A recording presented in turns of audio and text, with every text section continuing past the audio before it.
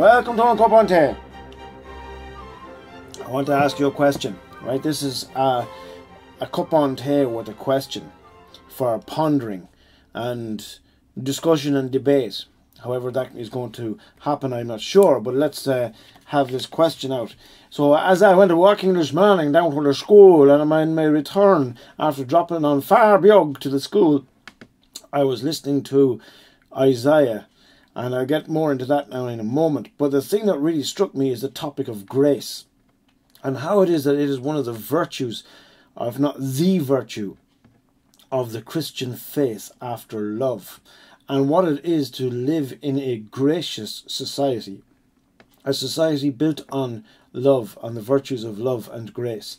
And the question then that comes to my mind is this, and this is what I want to put to you, because this is a sort of conundrum that I have at the present moment. As people, we love to sit down and talk about the state of the world and how things have got and what's going on in it and all the stuff that's taking place. And it's not the same as when we were growing up as young fellas and all that sort of stuff. And it isn't. Far from it. But so the question I want to put to you for you to think on, and I'd love to get your feedback on it, is this. So if you live in a society that encourages free will, freedom to think, and is based on the Christian virtues of love, grace, mercy, and forgiveness, is the end result lawlessness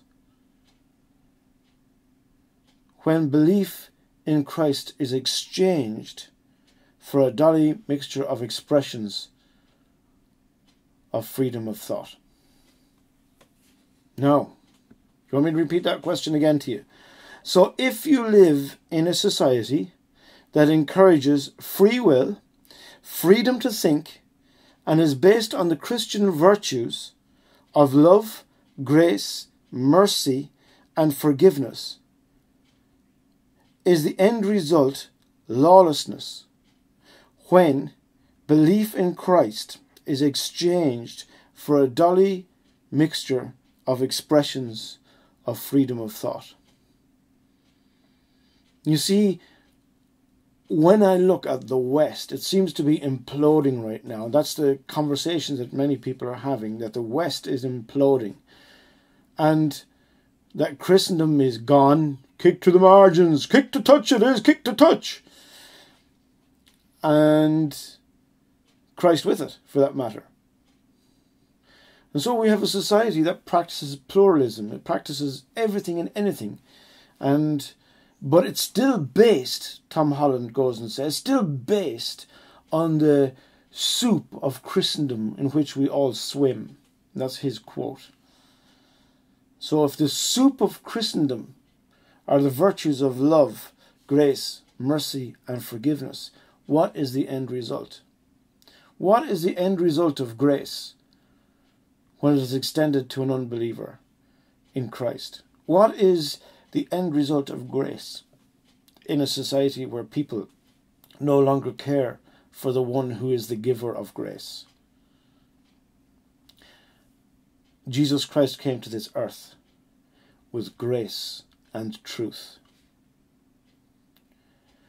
John 3:17 goes and says that God did not send his son into the world to condemn the world, but to save the world. And so we go and say, look, Jesus Christ doesn't condemn anybody. The whole point was that Jesus Christ didn't need to condemn anybody because everybody was aware under the law of Moses that they sinned and needed to get right with God, that they were in fear of eternal punishment.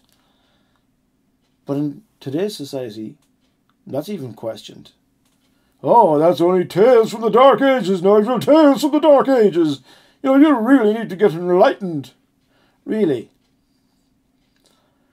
I think the question that needs to be asked is the one I've just asked. Well, what's the answer? That's the thing. Paul goes and says that, you know, because grace abounds, should I sin all the more? Absolutely not. He goes and says, but then again, hang on one moment.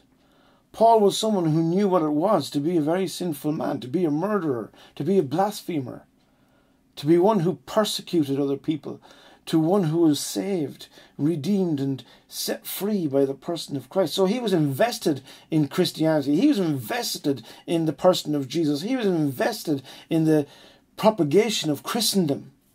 So that's a very biased opinion, is it not? See, that brings me back to Isaiah. And this really hit me as I was listening to it. I had to read it and dig into it then. Because I think as I read it and dig into it, yes, we have the solution to the problem. And yes, we live in a society today that is built on love, on grace, on forgiveness, on mercy, Christian values, because of what Christ has done for us. But this is what Isaiah goes and warns. And remember, he's writing to the people of Israel.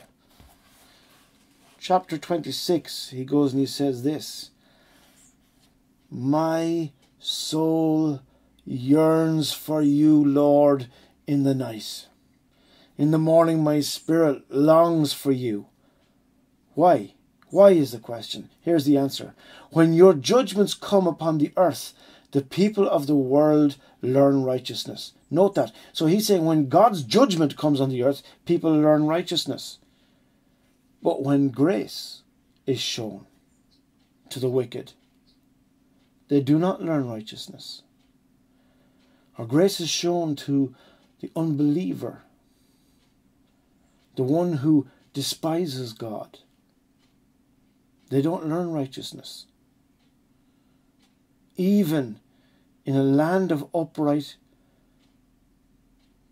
sorry, even in a land of uprightness, even in a land of uprightness, they go on doing evil. Why? Because they benefit from those virtues of grace and mercy. As Paul said, they're just so they're sin abounds, they can just do whatever they like. That's what they think. There's there's no recourse, there's nothing to worry about, there's nothing to fear. And so that brings me to my question. He goes and says, And do not regard the majesty of the Lord. So is it that in a world full of grace, love, mercy, and forgiveness, and freedom of expression, and freedom of thought, and free will, and the right to choose Christ, is the end result of that then lawlessness? Is the end result of that evil? Is the end result then that due to that grace abounding, people just take advantage of it to do whatever they want? Isaiah seems to think so. What do you think? Let me leave you with that question again to chew on as you have go through your day. So if you live in a society, by the way, which we do, that encourages free will, freedom to think, and is based on the Christian virtues of love, grace, mercy, and forgiveness, is the end result lawlessness, and when belief in Christ is exchanged for a dolly mixture of expressions of freedom of thought. You see, the one thing that is not mentioned here at all is this. One thing that's not mentioned is God's justice. But we live in days of grace, in the dispensation of the Spirit of grace. What does God's grace truly mean to you? Let me leave those questions with you.